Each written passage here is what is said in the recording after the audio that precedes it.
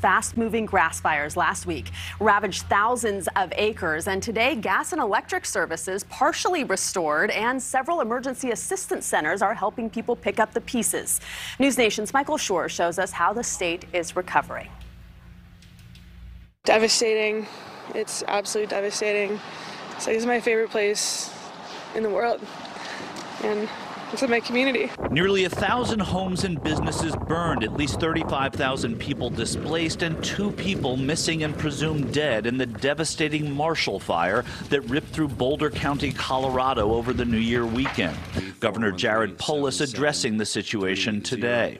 You know, this outpouring of love and support um, doesn't change the fact that families have lost everything they had. The work of determining the cause of the blaze continues, with authorities now focused on a video of a burning shed as a possible origin of the fire that has now consumed more than 6,000 acres. We've executed a search warrant on one particular location where we're investigating. Governor Polis emphasizing Sunday that people could be held responsible. If there was uh, any form of deliberate uh, or uh, or, or accidental arson, I, I fully expect that any of those responsible will be held fully responsible under the law.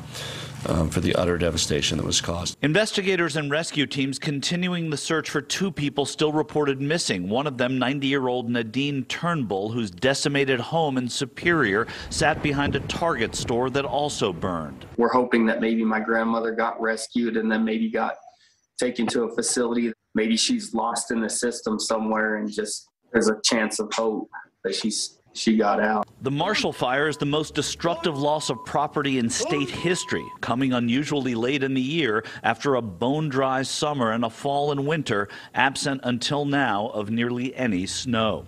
Michael Schur, News Nation. Thank you so much for watching. Make sure to click on the red subscribe button below so you can get more of News Nation's fact driven, unbiased coverage.